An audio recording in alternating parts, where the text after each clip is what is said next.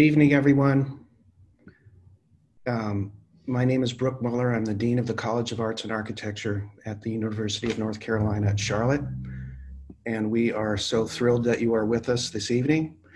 Um, I do want to give some props to the jazz ensemble who produced that beautiful music. Um, very thankful for the for the work of Professor Will Campbell. Um, and we are honored to have Harvey Gantt with us, Mayor Harvey Gantt, and a group of excellent and engaged COAA students. Harvey, we are so grateful for your interest in spending time with us. Um, as many of you know, Harvey Bernard Gantt was the first African American student admitted to Clemson University. He graduated with honors in architecture, earned a master's degree in city planning from the Massachusetts Institute of Technology, and then became a founding partner of the Charlotte based practice Gantt Huberman. He entered local politics, where he was elected to city council and then elected to two terms as mayor of Charlotte from 1983 to 1987. His impact on this community is deep and wide and will be very, very long lasting. I remain taken by uh, Harvey's comment during the Charlotte American Institute of Architects Women in Architecture breakfast last October. In a panel moderated by our very own professor of urban design, Deb Ryan, Harvey shared his dream that Charlotte becomes a laboratory for people learning to live together. Motivated by this aspiration, I ask what can the College of Arts and Architecture do as a vibrant learning community to work toward this dream, and what are the implications for arts and design education? How can we as creative thinkers ignite the civic imaginary, and work toward necessary social change. A couple of items before we begin the conversation. First of all, we welcome your constructive comments in the chat. We record and utilize these as we engage the COAA community this year and beyond. And also, we hope there will be time for questions from the audience toward the end. And lastly, some thanks are in order for the team that has helped put this event together. Dean Adams, Elena Payne Weens, Meg Whalen, Rhonda Latham, Sam Salvato, and top flight production manager, Ben Stickles. Now, before I turn the floor over to Harvey, I'm honored to introduce four amazing students who will in turn introduce themselves and share a few brief remarks, remarks about their experience in the college. And we'll start with Abina. Hi, everybody. My name is Abina Atimo. I am a student here at the College of Arts and Architecture, specifically architecture. I am a junior with a minor in Women and Gender Studies. I am also a student ambassador here at the University of Charlotte, North Carolina. We'll go to Renzo now. Thank you so much, Abina. Well, hello, my name is Renzo Cáceres. Um, I'm a student in, in the music department uh, I'm a music performance major. I'm a junior this year, and well, I'm I'm, I'm originally from Argentina. That's a, like a fun fact, but um, I'm really excited to to be here today and have this conversation with uh, Mr. Gantt. Thank you, Renzo. Um, Jalen. Hello, I'm Jonas Smollett. Uh, I'm a graduate student in the program here in the Arts and Architecture program uh, I'm just really happy to be here today. Thank you so much. And Cecilia. Hi, I'm Cecilia Whalen. I'm a senior uh, dance student and French major here at the college and here at UNC Charlotte. I'm a Charlotte native, um, and I'm very interested in this conversation and excited to hear um, this discussion about the arts and social activism and social engagement. Thank you, Cecilia. And Harvey, I think we turn the floor over to you right now. Uh, thank you, uh, Dean Muller. Um, first of all, uh, good evening to all of you, uh, students, and to the wider audience. I'm actually delighted to once again be a part of the program of the College of Art and Architecture. Uh, my history is that I go a long, long way back, almost to my time coming to Charlotte in 1968. Um, I'm next 65, but getting involved with what was going on in that school of architecture at that time uh, as a young architect, uh, all the way through uh, from 65 to 68, and then subsequently later on from 1971 on. Uh, as I thought about what I'd say to you in these few brief remarks, it occurred to me that all of you are students and essentially starting your careers in the arts or in architecture. Uh, and I sort of went back to examine how I got there. Uh, what, in fact, led me to a career that dealt with the creative arts? Uh, and why was I attracted to people who were involved in the visual arts, the performing arts? Uh, what, what, what drew me there? And I remember this tale of a, it's not a tale, it's a story of a fifth grade teacher who I still remember to this day, uh, who um, recognized something in me that I didn't realize I had. Uh, she uh, she penalized me one day for for uh, not paying attention to what she was saying in class. Uh, and when she came over, she found out I was sketching, and literally sketching people in the classroom, drawing portraits of the prettiest girl or uh, a flower vase on the windowsill in the classroom. And she said, "You're not paying attention." She embarrassed me before the entire group, and kept me after class. And I often tell people today that was the turning point in my life because she started, she, my punishment was helping her to assemble the Thanksgiving uh, bulletin board uh, using my skills as a person who could sketch very well. I didn't recognize I had that talent until she pointed out that I had that talent. And uh, from then on, I've always wanted to be close to the arts. So I sang in a choir uh, and finally uh, ended up with architecture as the pursuit that I wanted to have. And I've often wondered and asked people, why are you doing what you're doing? Why are you studying music uh, or studying the arts or studying some particular thing? What drove you to that particular point? So I look forward uh, to this conversation as we continue as I continue my kinship uh, with UNC Charlotte's uh, arts program and its architecture school. Uh, we have drawn and we have been to many lectures there. We've participated in many over the 45 to 50 years we've been related to each other. And uh, my firm has profited uh, by getting many of the uh, graduates, over well over a dozen graduates, that worked in our firm and are leaders even today in our architectural community. So I have a kinship here that that has been lasting, and I'm looking forward to this discussion uh, with you very, very smart students. Thank you so much, Harvey. So let's let's kick it off. Um, there's so many things we could talk about right now. I know, Renzo, you had a question about working toward change like what can students do to practically to now we know that it needs to happen we know it's needs to be substantive and so what is the role of the student earning an education right now in contributing to the process of um, societal betterment and change and more perhaps more particularly the role of the artist mm-hmm. yes so yeah, when when I got invited to this conversation, I was like, what can I ask? And and something that well, I've been noticing that reading about everything uh, in the world going on right now is the the world is is crying. We want to change, right? Everything that's going on, protests, and everything is just the world wanting to change. And so my question is I feel like every person has a different idea of how to change in their lives. Um, some people might might say, I don't know, I need a routine, I need uh, laws, I need. Uh, I personally think that change comes in a spiritual way. Uh, but how can we take those ideas and translate it into a cultural change?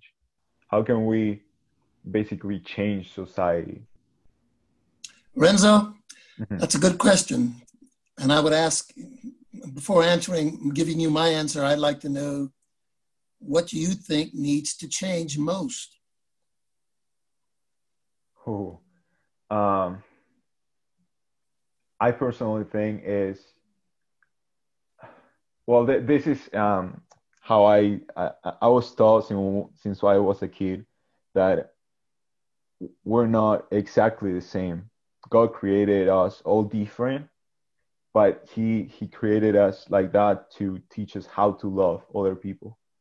So I personally think that that the world needs to learn how to love other people, how to love each other. It's more about like relationships.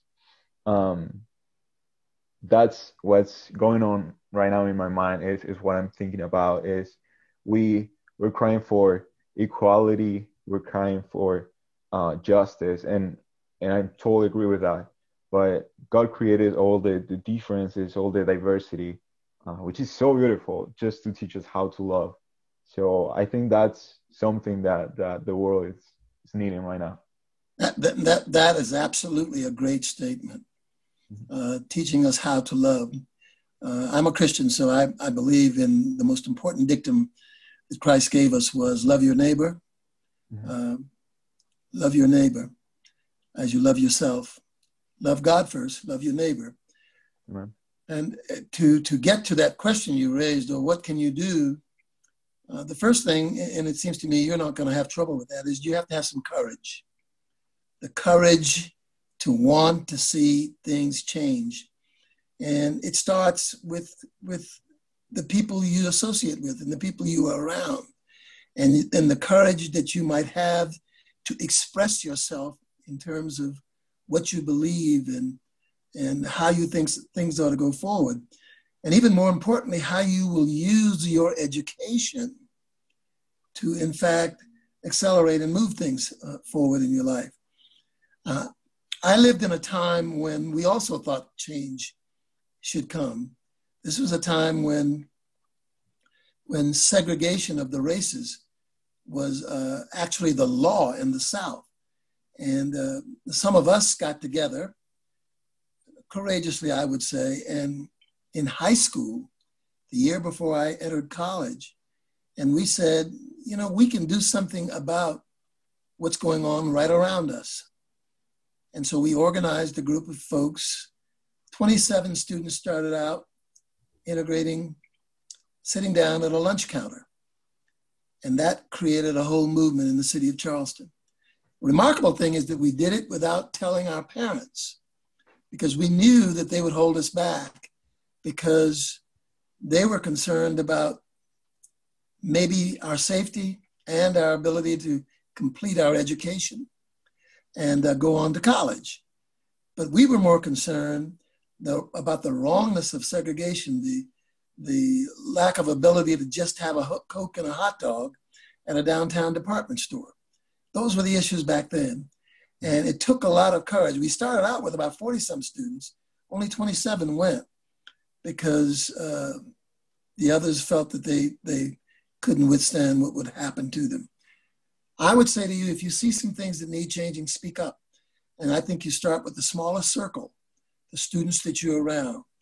Uh, one of the things that I've been proudest of in these recent protests is the diversity of the students, young people that are involved in stepping up uh, on this issue uh, of George Floyd and, and others who have been brutally killed by policemen. Uh, I, I, I think that that suggests to me that there is a, a lack of tolerance on the part of a lot of young people today to want to see the world continue in the fashion that it has, particularly as it relates to race and other issues. That's too long an answer, but courage is what I what I ask for, and speak up with your friends starting there about how you feel and try to influence how they they are acting. Thank you so much. Mm-hmm. Um, I have to say a couple things. People you associate with, Harvey, people you are around, the students you are around and Abina asked a question about just um, students of color in white, historically and predominantly white fields, and what that means and what we can do. So I'm going to let you take it away, Abina. Yeah, my question was basically just because you were one of the first African American people to be admitted into Clemson. Um, that was a space that wasn't necessarily designed with you in mind. And so, for students of color going into predominantly white spaces, you know, what kind of advice can you give to them who are experiencing forms of discrimination, um, bias within the classroom, just anything that could impede the studies that they're there to do? That's a very interesting question, Abina. Uh, I I started out uh, with a great guidance counselor in high school who advised me that I should go to school. I shouldn't go to the traditionally and historically black colleges, uh, and it was based on the fact that 99% or more of the architects in America are white. Uh, and you need to find out what it is that they're learning and to understand that world. Um, I might have a slightly different view today, but that's what led me to Iowa State University and then ultimately to Clemson. This notion that if I was going to practice architecture, I needed to practice uh, with colleagues that I'd have to work with uh, in my career and in building my firm. Uh, and I went into that space, as you might say, not recognizing it then as a white space, but as a, but as a place populated by white students with their own backgrounds and etc. But I had to be Harvey. I had to be me in that environment. Now, it was very important for me to be a good student, but to question and to design whatever the problem was based on what my tapes were of my past and what who I was as a person. Because design has to come from the gut, in my opinion. It, it has to it has to reflect who you are. Uh, and I actually enjoyed the opportunity to to work in that quote white space uh, and to and to deal with students who, fortunately enough for me, respected me, uh, and I assume by by definition respecting my race, at least in those classroom settings. And so when we when we got a problem, uh, I was always looking at it in terms of what would that new house look like in the neighborhood I came from, or what would how would I design that school based on the schools that I went to in the segregated South, and what kinds of things I would add to make it special for uh, the clients I perceived that I was working for, uh, designing for. Uh, you have to make your own space, but the but also the most important thing to me, because uh, you know I was called a pioneer, particularly at Clemson, was that I had to make sure that I graduated. I had to, I had to get the work done.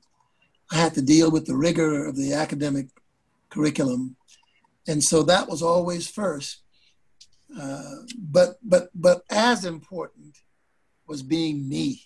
I just I just had to I, I always felt comfortable being me when I when I worked on a design problem or a design issue, or looking at problems in a social context. So when they were given when we were given assignments and projects, I always had interpreted it in the context of what my life experiences have been. Does that make any sense to you? Very much, very much. Thank you.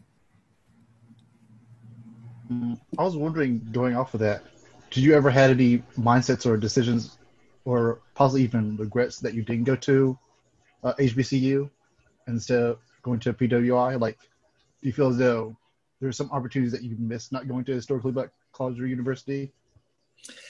That's a great question because a lot of my friends, when I was deciding to go to Iowa State, said, What? You got accepted at Howard and Tuskegee and other places. What are you doing going way out there to the Midwest? And I'll tell you what, on days when I was at Iowa State and, and the temperature was 23 below zero, I often thought of how nice it would be to be in Alabama or to be in Washington, D.C., where it was a much more friendlier climate.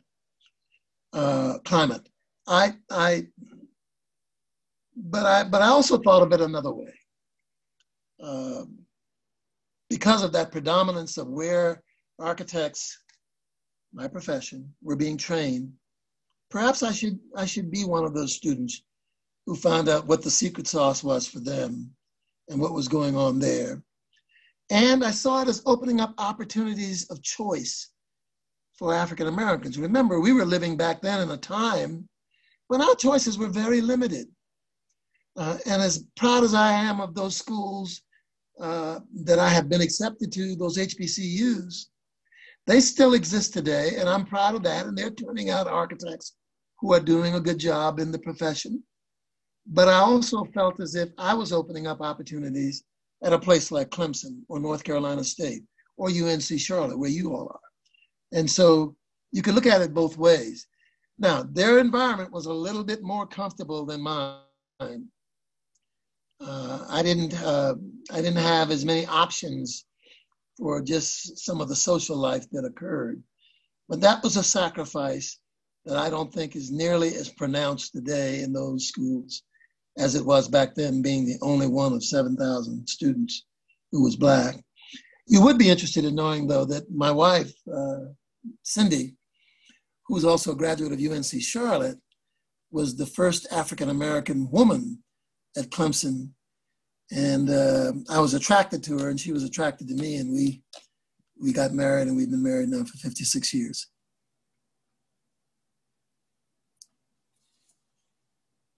I see you laughing, Brook. Uh, did I say something wrong? No, I said something delightful, actually. I met my wife in the uh, stairwell of the architecture building where I studied. Aha. Uh-huh. Yeah. And, uh, and so actually, the story is so I was like, who is that? And it turns out we had this class together. And I sat toward the back, and she was a couple rows in front of me. And I'm like, I got to figure out a way to get her attention. So I was that guy who asked the really long question that actually wasn't a question, just so I hoped that she would turn around. And you would think that would backfire completely, but actually it's, it turned out it worked. So that that that was pretty nice. But you're in this you know intense educational environment, and you just make relationships. And ours ours is not nearly as long lasting as yours. It's 21 years strong as of just a couple days ago, but we're very, very good. We're happy. Um, I should say on that question of of uh, African Americans in architecture, at least the current issue of Architectural Record is in fact uh, uh, gives a huge part of its uh, publication this month to African Americans in the arts and in, particularly in architecture and some of the issues that are facing the profession in general, and issues that deal with um, what the social contract ought to be with education, architects, and what's going on in the community right now. Uh, how involved uh, should you be? And I think Renzo started to ask that question about, you know, what is it that we ought to be doing? Uh, you're not existing out there at UNC Charlotte in a vacuum. There is a whole lot of activity going on. And the question would be what role should a student play in some of what we see? I don't know how many of you participated in the protests, and I'm not trying to, to grade you one way or the other, whether you did or not. But how much are you paying attention? And I think you have to pay attention. Uh, you have to pay attention very closely because one day whatever it is that you do if you're a visual artist or a performing artist or um, someone in architecture you're going to have to be involved in that community that helps to make society a better place. Thank you. So i have a question from malik norman in the audience and i'm going to link it to cecilia's question. I hope this isn't too much of a stretch but what roles or programs can institutions like ours as a university play in economic mobility? What are some programs of that art and architecture could be put into action? And I think in some ways, Cecilia, you're kind of flipping it. You're asking what role the artist can play in governmental systems. So I, I want to hand it over to you. And again, I hope I'm not mixing up the questions too much, but um, they seem somewhat related. Sure. So, um, obviously, right now we're having, as a nation and as a world, but especially in the United States, we're having all these conversations about how our systems need to change based on the Black Lives Matter movement as well as the coronavirus epidemic. We see how our systems were weak to begin with and are now crumbling um, anywhere from education to healthcare, right? So I think it's been pretty evident in the past as well as the present on how on the role of the artist in activism. We've seen that downtown just with the Black Lives Matter mural itself. So we see how often how the artist plays a role in activism. My question is, does the artist have a role in the system or should the artist live outside of the system? Should the artist is there a role for the artist in government or does the artist should the artist exist solely outside of government as a way to push the systems forward through an outside force? Mm, that's deep. Um, hmm. uh, let's see if I can get at it this way. One of the great things, nice things that I thought happened was the Black Lives Matter mural down the middle of Tryon Street, one of our more sacred spaces in this community, in the heart of how Charlotte has developed into this uh, growing uh, metropolis uh, on business. And yet we had that mural go down the street, and there was absolutely consent on the part of the government to allow that to occur. Uh, I worried for just for a quick moment that the Department of Public Works would send out a crew to, to scrub that very clean, um, but they didn't. I see artists and murals now all over walls that send messages that I think are, are, are good. I think those kinds of uh, contributions are, are, peripheral and important. I shouldn't even say peripheral. Uh, they are important. But I, I don't think you, I, I, think there will be a lot of what you do that is in, which we shall, shall we say, in the private arena but for me, there is a very important role that the arts can play in government too. A very important role. Um, and I'm not talking just about some some uh, things like hiring uh, artists to paint murals and to do sculptures, and because that's important. And Charlotte has a robust uh, public arts program for its major projects, and uh, I was happy to say that I helped to, to, bring that kind of thing into existence years and years ago. But but in the context of cities being places that uplift people and stretch their horizons, uh, I think I think that the artist, the architect, the creative individual does have a role to play, and government sometimes if they're good, recognize that in many ways. So there's an appreciation when my firm designs the Beatties-Ford Road Neighborhood Library that we not just simply design a box with some shelves in it, but to have some image of young kids who might not have as much exposure to books coming into an environment that makes them want to read and want to spend time there unsupervised just reading and exploring. Uh, and that the building itself created an interest in wanting to do that, and maybe even asking who conceived this, who designed it, uh, or when we did a building like Imaginon, uh, the idea that there was art in that and that there was thought given to the design and things to delight children, to make them feel good, and to remember that space a space that they might not have had the opportunity. Government brought that about in, in, in a lot of ways by deciding to hire architects who were creative. And um, Joe Riley, the mayor of Charleston, South Carolina, often tells the story, and some of you, if you've ever heard him speak, will will uh, will remember it. They have built a beautiful park in Charleston.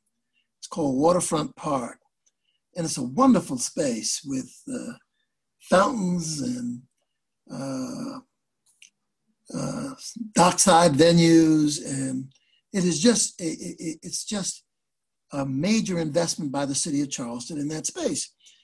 And Joe said he often got criticized because we were using public taxpayer dollars uh, uh, to do something that was elaborate. And Joe tells the story then, uh, well, let me give you an illustration of why it was so important for us to do this wonderful part. He said, There is an old gentleman in his 70s, that would be my age or somewhere, who comes there every day in his retirement and he just sits there. And he's there every day like clockwork. And someone asked him why he was there, and he said it was just beautiful. It was a great place to reflect. And Joe's point was had the government not had the sensitivity to create or help to create a space like this, a space that this gentleman would never be able to afford on his own, or a country club setting that he could never get into because of his income and his status, the public sector provided an artistic, creative environment that uplifted him as an individual.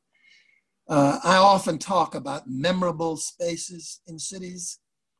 Uh, that's so important for uplift, in my opinion. And that has to come from artists. That has to come from architects.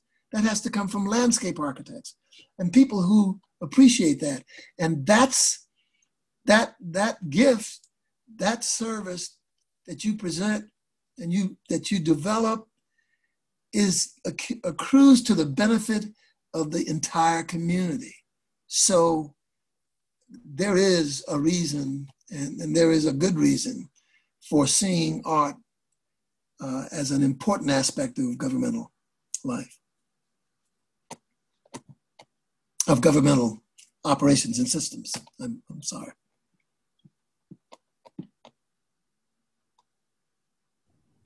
My goodness. I've got I'm some, talking too long. You're not asking enough questions. I'm, I'm, I'm, I'm talking too long. Go No, ahead.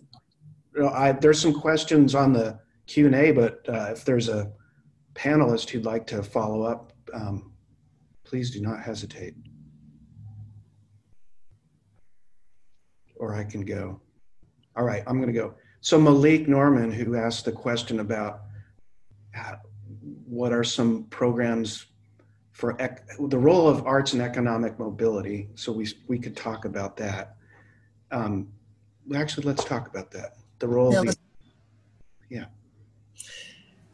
I don't know about the role. I don't know about the role of arts and economic mobility, but I was in a meeting the other day in which we were all discussing this whole situation of poor people and affordable housing and how much money we can put toward building nice affordable housing. Uh, and one of the questions uh, that some of us raised was, what about poverty in our community? What about poverty in cities? What about all the homeless people? And how can we afford, how can we uh, accelerate uh, people up the economic ladder? And, you know, Charlotte has had this as a big issue the last couple of years that we've been, we've been 50th out of 50 cities in terms of economic mobility. Um, and again, I'm back to the point that creating an environment that lifts people up is most important, starting with education and good schools and being willing to sacrifice and pay the dollars in taxes to build the best public schools and to hire the best teachers. Um, but I asked the question in that meeting because I didn't see a lot of CEOs of the big companies around, and I know that they're out there and they, they're interested. One of the ways that we solve the problem or begin to solve the problem of economic mobility is to pay people more money. If you had more money, if you, if you could afford to put food on the table and to afford the rental on a, on a decent place to live and afford uh, uh, to at least contribute a little bit to building up a savings or owning a house or, uh, or building some wealth. It all really starts with wages. And if uh, we started to pay the people who flip our hamburgers uh, $15 an hour, $18 an hour, that's a sacrifice to somebody. That somebody is us, those of us uh, who are consumers of hamburgers, for example, because we might have to pay a dollar more for the hamburger. But how good is it that we know that the flipper of the hamburger is making a salary that, that will allow him not to work three or four jobs, but to spend some time at home with his children, to give some guidance, to buy that iPad that they need, to connect to the internet. Uh, all it requires is some sacrifice. Now, someone loses. If you're going to bring about systemic change, it is not a win win situation. And that is what a lot of people have difficulty with. It is not a win win situation. When, when, when the company ABC raises its wages across the spectrum of its labor force, who loses? The shareholders lose. In a sense, they don't get as much dividend as they did before. They don't make as big a salary as they used to before. But the all society might benefit.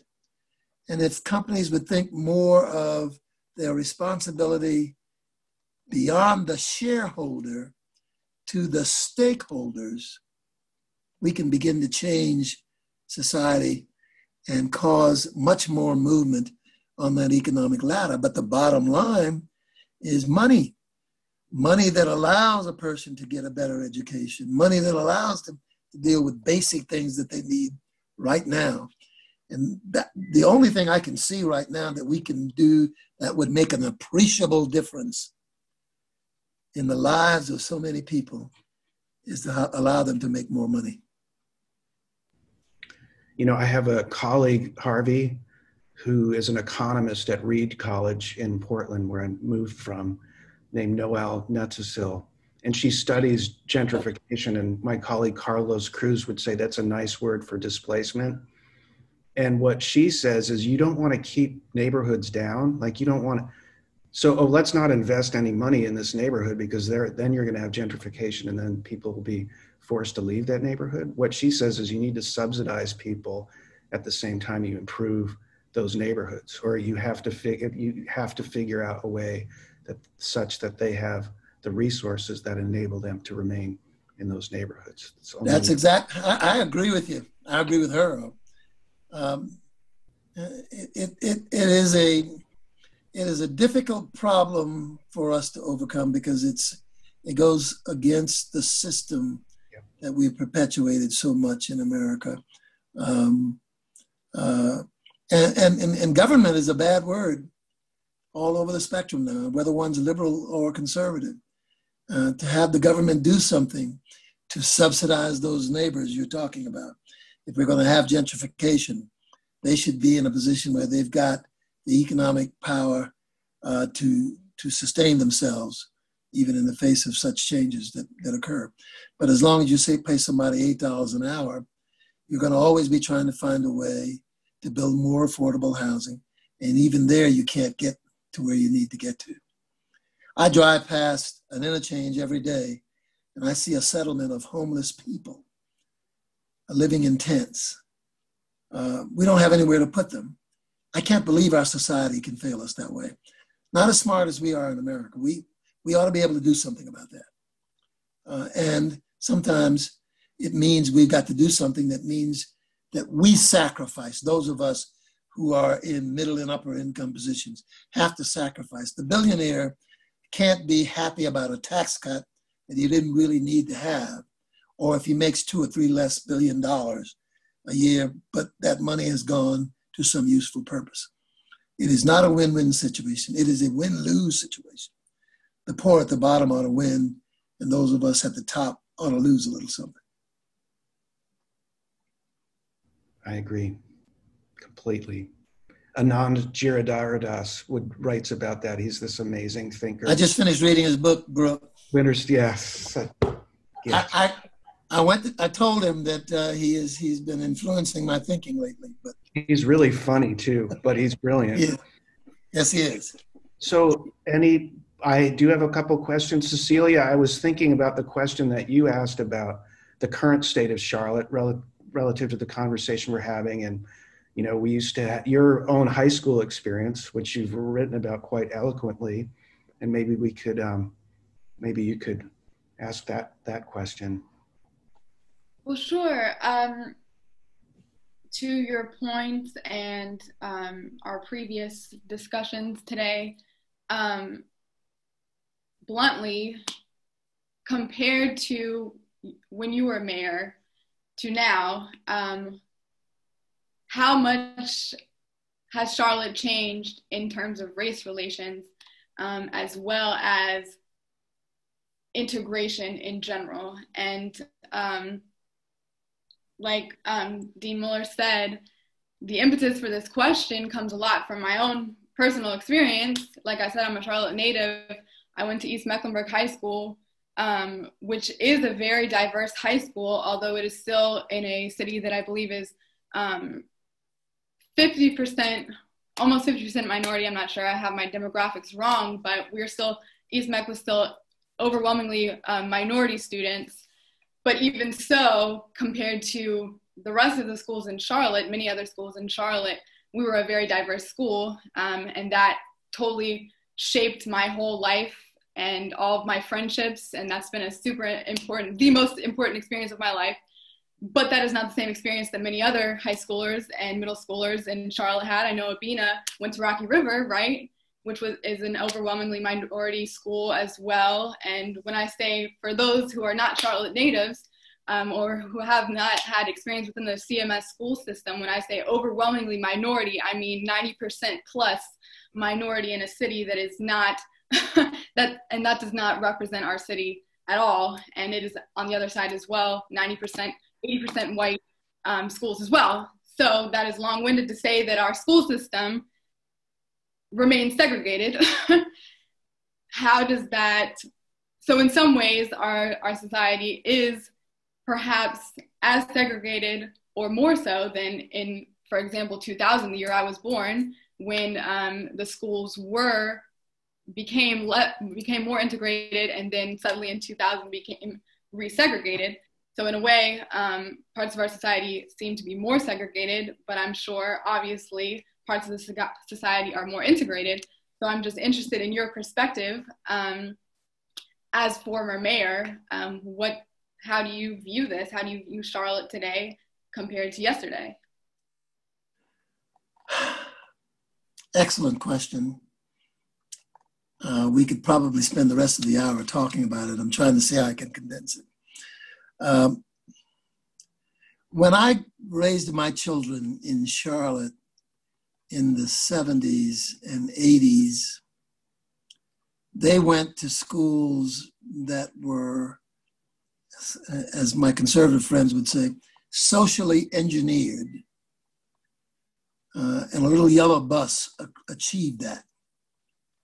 So the city was just as segregated as it is today almost. But they literally took children from the black community and children from the white community and bus them across town uh, to allow them to have a measure of diversity. Uh, so my children all went to school at uh, Piedmont Middle, you'll know the one I'm talking about, and uh, Irwin Avenue Elementary, and East Mecklenburg High School, and West Charlotte High School, I have two kids that graduated from East and two that graduated from West Charlotte. And it was almost, uh, it was, you know, Charlotte was very proud of that. They weren't initially. The young attorney back then, who I knew very well, carried that case all the way to the Supreme Court, when he when he when he was victorious, you know, people threatened him. His house had been bombed previously, and they didn't want to see that kind of thing happen uh, in Charlotte. But thankfully, there were parents there that said, We've got to obey the law, and they engineered the, the desegregation of the schools. They carried out the, uh, the, the dictates of the court. And it existed from the middle 70s all the way to 2000. In 2000 or somewhere around in that time, what happened was a court suit occurred Uh, and the judge at that time uh, said the schools were sufficiently integrated. Therefore, we don't need to bus anybody anymore. This is a personal reflection. It was one of the most ridiculous decisions I'd ever I'd ever seen because the neighborhoods had not changed, and all of us, many of us, predicted that the schools would end up being resegregated again. Uh, there were efforts made to to overcome this with special funding for schools that had 90% African Americans or schools that were in low income and marginal neighborhoods to address that, this, but there was not much in the way of adjustments and changes um, that were made. And again, it's back to economic conditions produce uh, different outcomes for different families, black or white. So I, I, I would say that I went to school in the uh, the feel good era that occurred between uh, the mid 70s and the year 2000, when Charlotte, with a population of uh, 23% African Americans, elected me as mayor. Uh, and we did a lot of great things with regard to planning and development and passed about $2 billion in bond issues for expansion and development of the city. But all along, what we did was still artificial in one sense. Uh, someone has to win, someone has to lose. And, and, and we were trying to make sure everybody won. And people did lose. Uh, low income families that are back in situations where their kids are not being properly educated, uh, I think is, is, is a problem. But those low income families, with people who are going, with parents who are going to two and three jobs, or or or parents who can't get married because they they can't afford the cost of marriage uh, because their wages are too low, their training is insufficient to exist in the 21st century economy. Now we're you know what what we're seeing now is is a reality that expresses the need to get to the core of the problem. Back then, we artificially fixed it for a while and it worked to the benefit of a lot of students. I thought my kids, I purposely made sure my kids went to the public schools, but they went to schools that were integrated, that they did have a chance to see both poor and wealthier students. And it was a great experience, and they all turned out fine. But I've come to recognize that that is not the final solution to how it, I don't want to use that term, that is not the real solution. And maybe COVID 19 and the recent social protests across this country will allow us now to grapple with what we need to do.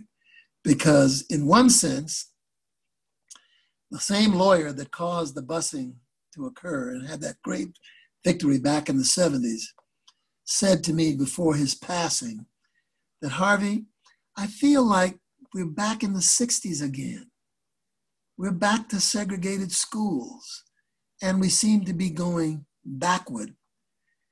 And my only thing to him was to offer some hope that maybe my children, who got a chance to go to school in those halcyon days of the 80s and 90s, would not allow this to go much further. I didn't realize that we we're going to come to the period we're in now but perhaps this is a time for you, you young people, to act, to begin to change this environment totally. I actually appreciate Cecilia for bringing up that point because, like she said, she went to East Meck. I went to Rocky River. Um, schools like Rocky River, East Meck, Garinger, and Charlotte are, you know, greatly affected by students being displaced. Um, and just personally being an architecture major, I just have to wonder like what can an architect do to help situations like gentrification and displacement and just like, you know, gerrymandering, these these large concepts that almost seem like above us, what can someone in a singular profession do to kind of aid this kind well, of you can run for public office like I did years and years ago to try to influence public policy. But if you don't want to do that, you need to step out and speak up at the forums of in the forums of government as to what's wrong and what you see wrong. Architects have been accused of being reluctant to be in the public arena for years. And I've preached this sermon more times than I care to think about that as long as we are not there, we are not going to be other than we're only going to be the people who decorate the solutions. Um, and, and, and while that's an important role, I shared that with you that I think our spaces have to be wonderful and good and all of that.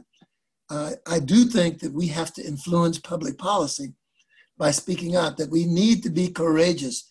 We need to step up, even though in many cases, particularly in architecture and the arts, uh, our clients are the patrons of wealth. I mean, they, they, and they in fact are our patrons. They are our clients. And many of my friends, my colleagues have said, I can't speak but so loudly because what you may be talking about in the end is a redistribution of wealth. You may be talking about uh, changing some things that are systematically in place and have been entrenched for years. But I don't see how we influence not only the social issues, but how cities grow, how communities grow without being activists and in front of those people who set public policy. So I hope when you get out of this institution that you don't decide to chain yourself to the drafting board or to the uh, sketch pad or or to how you develop sculptures. I, I hope you see beyond the room and get into a bigger room. Abina, I would just wanted to say the economist that I mentioned in Portland works with this nonprofit called Mercy Corps Northwest, and what they've done is purchased like these strip mall developments from the 50s and these economically marginalized, ethnically diverse neighborhoods, and they renovate them. They um, allow local businesses to locate there, and then if you live in certain zip codes, you can invest $10 a month, 25, 50, 100, 200 a month into these projects, and then once the nonprofit's able to pay off its loan, they basically give the project over to the community members who invested in it. And so that's a drop in the ocean, but there are these emerging finance models. And my encouragement as an architecture, emerging architect would be to work with people who follow the money, like Harvey's been saying. And you, I think there's some really innovative opportunities there if you work with the right people. They're actually crowdfunding buildings in the city of Portland right now because people they want to see like their investments have they they're less concerned about a rate of return and they're more concerned about seeing beneficial um, community impact. They don't uh, take loans from banks. They broker with building yards and they avoid the middleman. So there uh, there are these exciting models but we need to be conversant in those languages in order to have our work make the greatest difference definitely seems like Portland is the place to watch. Um, that's my birthplace. So, um, you know, there's always been, there was a lecture that we had my freshman year where they were talking about the, the pod initiative, where they created spaces for homeless people um, and they checked the zoning and things like that. And so, um, just, I know that it's out there, but just trying to, to, make the wider community aware of these kinds of things that these are sustainable things is really like something we have to consider kind of changing gears to i believe. Totally. And we need to find our role models. I call them kindred spirits like harvey. We need to find our role models that we can look to to to help inspire us to to work towards change. I had a question for mr Gantt. Um, listening to all the the conversations that we were having, and he often you you often mention the role of family, parents, talking within economics and education, and I personally think that that over the years, like I, I talked to my parents, for example, and they I've been blessed with them because they they're always present and they have this influence in my life. It's a positive influence, and I know that, that over the years, the the the government or the system has maybe take that away from people. Uh, even you say that that there are parents that are working two, three jobs and they they don't have time to be at their house. Um, and, and I don't know. I wanted to to know your your point of view on the role of the parents in our society, uh, and also for for us. We right now we're focused on uh, as a students what we can do, but someday we're gonna be parents. And uh, personally, I want to know like what how important um, and and how to influence in my kids' life and how they're gonna influence society too. Uh, I, I, don't know if that makes sense. No, I think that's that's a good question. In fact, I'd like the other students to uh, chime in on what they think the role of a parent ought to be, because you're all going to be future parents in some way, shape, or form. Um, my model has always been my parents. Um, my, my, my parents have had a great influence on my life. Uh, and yet, you know, if you think about it, back in the 40s when I was born, which would for you seem like ages ago, um, uh, my father had less than an eighth grade education. Uh, and my mother finished 11th grade. She didn't graduate from high school.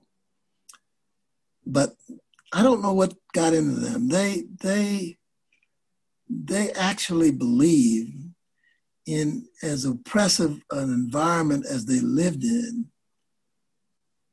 that the promise of what this country could offer their children was real. And they wanted to make it real. And, and they figured out, even with their lack of formal education, they figured out that education was the key and that they needed to pay attention to how we did in school. And, and, and my dad used to say to, uh, my dad was a laborer, uh, and he used to say to his colleagues at work that he was going to send all five of his children to college. And, and he said, Harvey, they used to laugh at me. They thought that I was pipe dreaming. And I guess in the vernacular of today, they might have asked him, what was he smoking? Uh, but he stuck to that belief that his kids were going to go to school beyond high school. Uh, they definitely were going to go to high school. And they stayed after us. And the way they worked it out was my dad worked two and three jobs, but my mom was the monitor of how we were doing in school. She watched over us when my father had to work all those jobs, which is, pro- which is probably why you hear me say it quite a few times tonight. That until you allow people to have decent wages, where they don't have to work two or three jobs, uh, we're not going to get ahead. In our case, they just split the responsibilities. Mom, mom monitored the house. Dad brought the income in to make sure that they'd be in a position later on in life to do what they want to do. So they influenced us. They, they influenced us by what they what they tried to accomplish in those meager circumstances. What they had was a spirit that said we can do. And I, and I think we have more resources Today, even the poorest of us have more resources than maybe some of the uh, people who lived near the poverty line back in those days. Um, I do think, and I've seen this, and this has nothing to do with income level. I do think as you as you develop your careers, you do have to spend some time with your children to influence and pass on positive values that, that you want to see them have.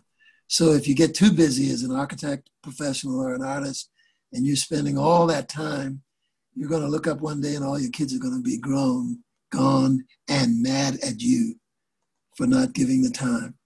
And so you do have to spend some time sharing what you think and passing on what your values are and getting into those arguments that I'm sure you've gotten into when when you as a teenager thought you really knew a lot more than your old fogey parents.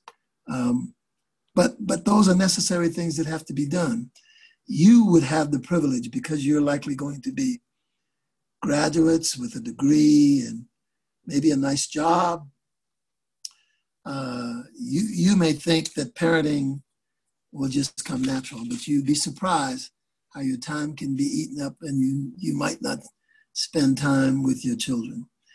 uh, I'll tell this story and I'll shut up. Uh, when I was mayor of the city and practicing as an architect, they allow you to do that in Charlotte. Um, uh, my second oldest child, uh, who was a graduate of East Mecklenburg, Cecilia, uh, she she had a habit of uh, tackling me when I tried to go out the door to attend a city meeting or something. And this was her way of saying, Why are you always going? And it drew my attention to the fact that while the other kids didn't express themselves so openly to my absence during that terribly busy period in my life, she didn't mind telling me that she felt that the, the city was taking away from her time with her dad. And uh, that caused me to change my habits and decide to turn down some things in order to spend more time with my children. You have to be careful about that, but that is something you've got to be attentive to.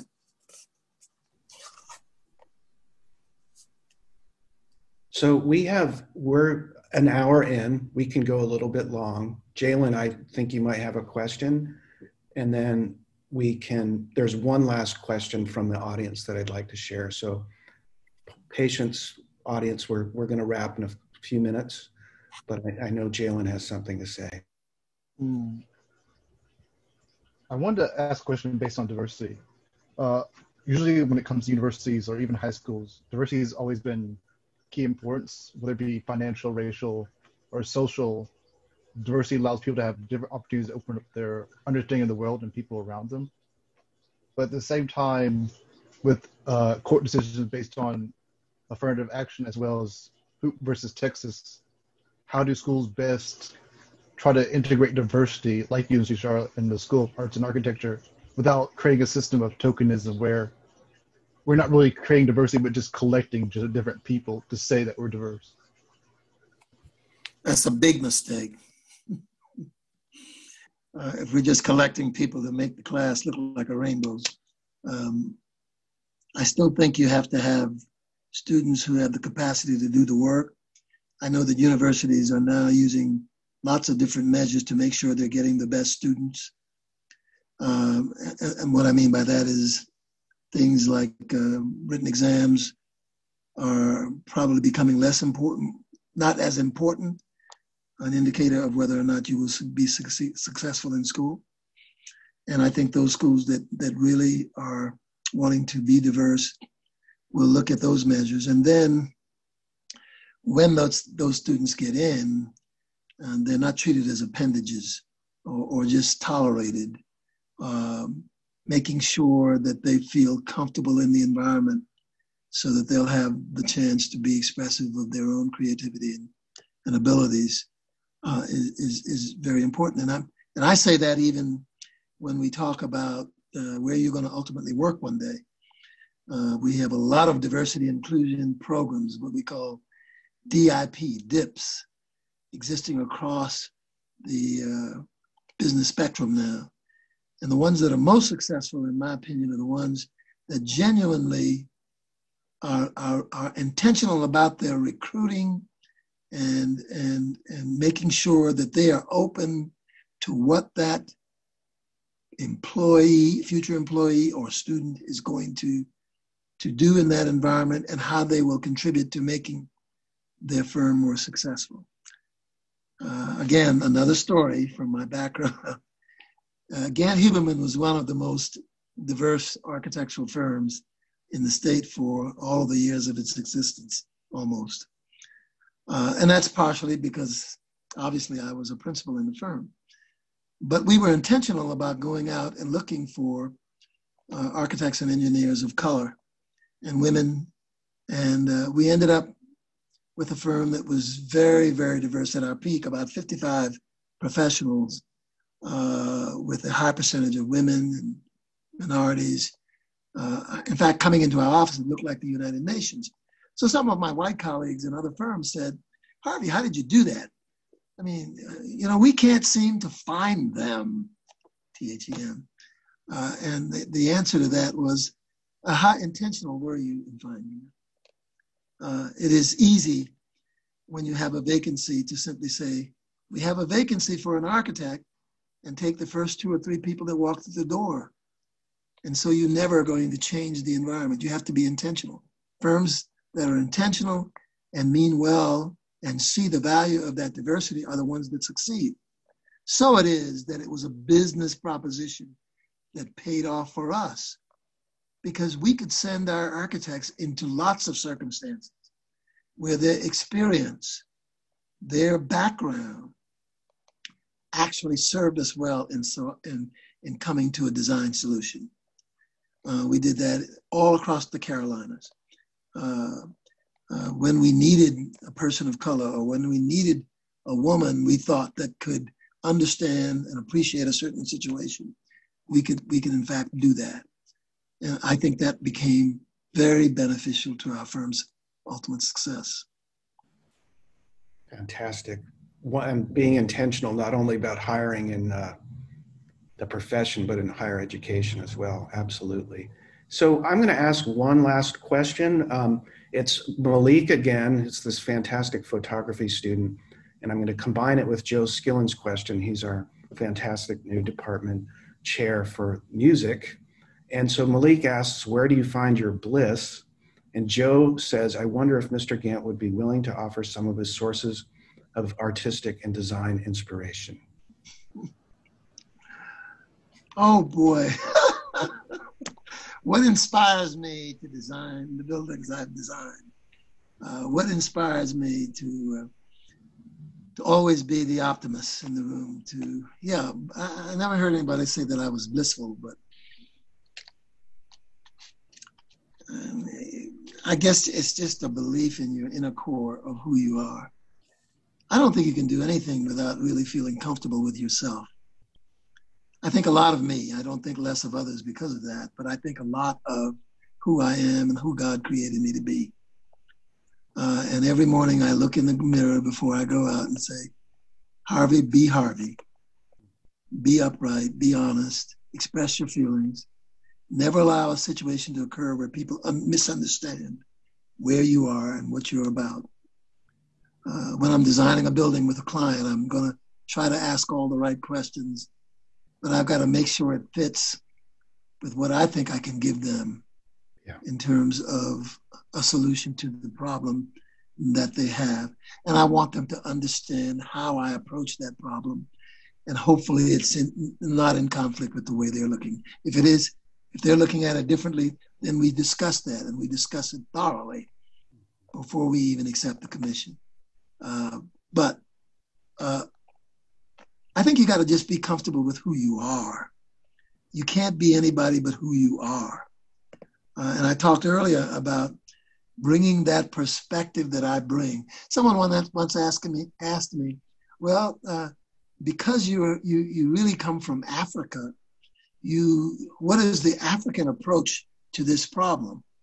And I swear I didn't understand that.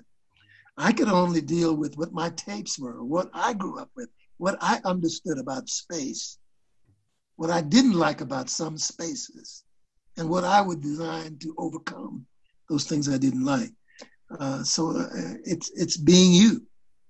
It's really being. It's all about you in that sense, being you and respectful of others, but being comfortable in your own skin and who you are. Wow, that's a fantastic way to conclude this session. Thank you so much, Harvey. Thank you, Renzo, Jalen, Cecilia, Abina, for your time so much. We um, had a question about the book that we have both read. It's by Anand, A-N-A-N-D, and Giridharadas. Don't ask me to um, spell it's called, that. It's called Winners Take All? Winners Take All. Yep, and it's it really is relevant to so much of what we've discussed this evening. Um, Harvey, belief in your inner core you said earlier you have to make your own space. I remember going to architecture school and I'd go to one class and they'd impart certain lessons. I'd go to the next class and they would contradict what the previous professor said. And I said to myself, you all need to get in the same room and figure this out. And then I realized it was about my story and I could take this and I could take that, but I had to construct my own story. And that was the Amen. of education. Amen. So thank you so much. Um, this has been a joy. Um, we'd love to have you back. We know how busy you are, but this is, I'm getting emails about how wonderful and chats about how wonderful this is. And it truly has been a, an honor for me. Thank you. Well, thank you. And, I, and thank you for allowing me to be with these wonderful students. Uh, I wish you all the best in this very different kind of year. We will all remember 2020. More importantly, what uh, the, the thing will be, what did we take away from 2020? Yeah. Yeah. We're hoping to get back on campus October 1st. So remember, you gotta we gotta treat we gotta treat each other well. We gotta care for one another and we can pull this off. Okay? All right. Thanks everyone. Have a great evening and we'll talk soon. Take care.